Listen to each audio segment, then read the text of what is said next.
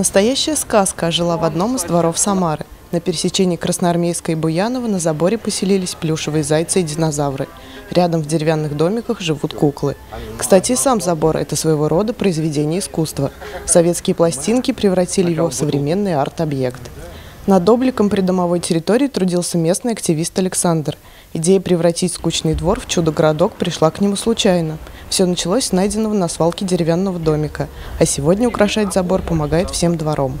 Ну так, композирую один, кто-то что-то подскажет, может, хопа, мысль придет, что-нибудь скажет. А то и ребятишки бывает такое скажут, что я сам и не додумался. Здесь много такого вот было, подсказываю. Мимо сказочного забора пройти равнодушно не может никто. Александр же не сидит на месте. В этом году он начал разукрашивать дом напротив, чтобы двор заиграл новыми красками. Екатерина Вьешкова, Олег Лаевский, специально для 63.ru.